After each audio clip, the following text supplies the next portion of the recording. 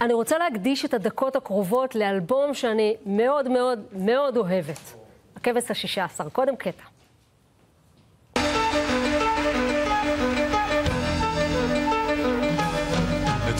בחמש אחרי הצהריים הלכנו עם אמא למכולת ובדרך ראינו שהגן שלנו סגור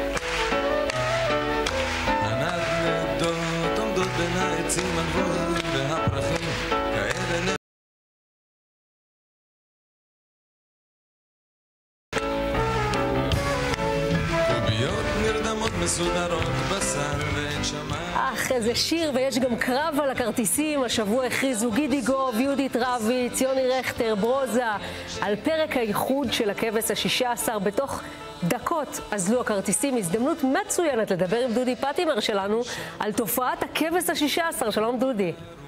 שלום יפעת, מרגש. שמעת מרגש מהשיר, מ- מאוד מאוד מרגש, שמעת מהשיר האהוב עליי, מה השיר האהוב עליך? האמת שגן סגור, בגלל הסוף, זה, זה לא כל כך נעים לראות גג- גג- גן סגור, זה עושה לי את זה, התחכום הזה של רכטר במוזיקה. יפה יפה, תגיד, אה, בוא, בוא נדבר קצת על, על פרק האיחוד אה, בכמה מילים.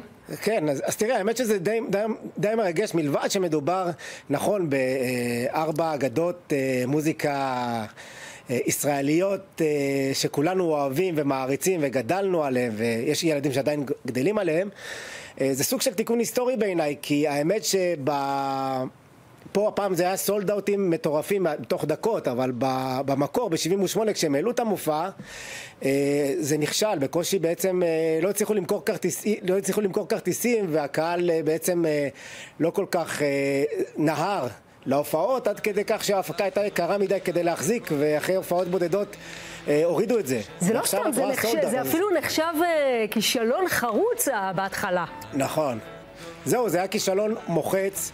אה, בכלל, זה, זה, זה, אה, הכל קרה בגלל השיר הזה, גן סגור, שהוא זה שנתן לשיר הזה את ההצלחה, כי כשהאלבום יצא ב-22 בנובמבר 1978, הוא לא נמכר כל כך ולא הושמע כל כך ברדיו, ולמרות שהמוזיקה מדהימה, וזה בכלל יונתן גפן, מה צריך יותר מזה, וכל החבורה הזאת, אבל חודש אחרי זה הייתה שביתה במערכת החינוך, לא היו גנים, והרדיו באופן טבעי חיפש משהו אקטואלי. אז הוא ניגן שוב ושוב ושוב את גן סגור זה נתקע בראש של האנשים ומהר מאוד אה, כולם התעניינו בהרכב הזה, באלבום ו... והשאר היסטוריה, באמת זה הפך להיות אה, אה, קלאסיקה מטורפת. ואגב כך, בוא, נתחיל, בוא נזכיר שהכל בכלל התחיל מספר שנכשל, נכון. לא רק המופע. זהו, יונתן... נכון, יונתן גפן בכלל כתב את זה בחמישה ימים במהלך שהותו בפריז. אה, ספר שהוא רצה שיהיה לילדים כזה, אבל גם אה, הומוריסטי ואינטלקטואלי, מעין גשר בין עולם המבוגרים לעולם ה... אה, קטנטנים, אם נקרא לזה ככה. זה הספר הראשון שהוא הוציא בהוצאה עצמית. למה הוא חשב שלהוציא ספרים בהוצאת ספרים, זה לוקחים לו את כל הכסף. אז הוא אמר, אני אנסה צודק. בהוצאה עצמית. צודק, נכון, הוא פנה למסעדן בשם ארי כהן, ארי כהן אה, ניהל עם אה, דני ליטני, אז מועדון לילה, והוא השקיע, המסעדן השקיע בהוצאה הזאת, בעצם לא, הספר לא נמכר בכלל, כישלון מוחץ. לא יודע מה לעשות, כאילו נתקע, הוא וארי כזה נתקעו עם הרבה עותקים, לא היה להם מה לעשות. אז הוא פנה לדודו אלהרר, שהיה אז אחד המפיקים הבולטים, ודודו הציע לו פשוט, אמר לו מה שיכול להציל את המצב זה אם אה, בעצם אה, תביא את השירים האלה לאיזה מלחין שילחין אותם.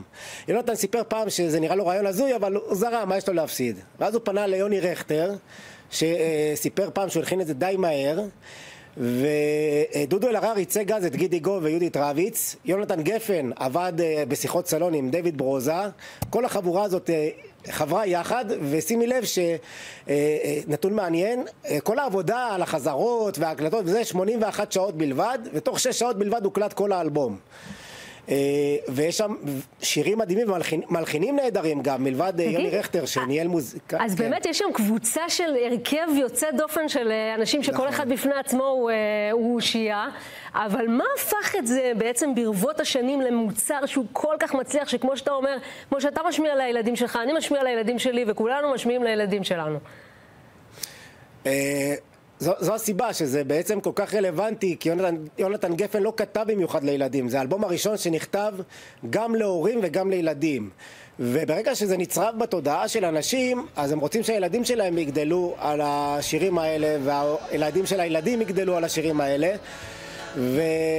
וזה כל... ובוא נגיד שבשנות ה-90 זה זכה ליותר הצלחה משנות ה-80 לדעתי, כי אז גם יצא השיר איך שיר נולד, שלא נכלל בתקליט. אה, המקור אגב, אה, אם לא, לא הוצאתי את התקליט אז... או, תראה לנו.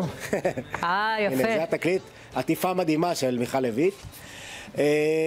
ובאמת ההוצאות החדשות של שוב ושוב של התקליט, של הדיסק, אחרי זה הצגות ובכלל המופע הזה שזה לדעתי טירוף של נוסטלגיה כי אנחנו דווקא בתקופה הקשה הזאת דווקא זקוקים להיאחז באיזה משהו שמזכיר לנו רגעים יותר יפים, יותר נוסטלגיים, יותר מתוקים ואין דבר יותר מרגש מהאיחוד הזה ועובדה זה עורר גרר באותו שבוע איחוד נוסף, צעירי תל אביב, שזה נושא אחר לגמרי, אבל האיחודים האלה הנוסטלגיים זה משהו ש... על כך בפעם הבאה, על כך בפעם הבאה, דודי, אה, תגיד, אתה מדבר על גרסאות קאבר, ובאמת היו המון גרסאות קאבר אה, לאורך השנים, נכון. בעיקר בשנים האחרונות, אה, לכבש השישה עשר. נכון, אה, יש כל כך הרבה, גם אה, אליאנה תידר ולי בירן, אה, אני הייתי פעם במופע שהם ביצעו את השירים האלה, זה גם היה נפלא. ההרכב הזה, השירים זוכים כל הזמן לעיבודים חדשים, שזה גם עוזר לשמור עליהם בתודעה ולגלות אותם לעוד ועוד דורות. אה, ובאמת, כל שיר כאן אה, מדהים, אה, גן סגור, הילדה הכי יפה בגן, רעמים וברקים, באמת, מי שמ... הרבה, הרבה... מי שמביט בי מאחור, כן, קלאסיקות. כן. מי שמביט בי מאחור, נכון. טוב. שיר שתמיד משעשע אותי. ואני אוהב, של קלפטר. אני אוהב שוקולד ועוגת גבינה כמובן. וואי, נכון, נכון, נכון, איך אפשר לשכוח את זה. כן. דודי פטרמר, תודה רבה לך. תודה רבה לך, יפעת.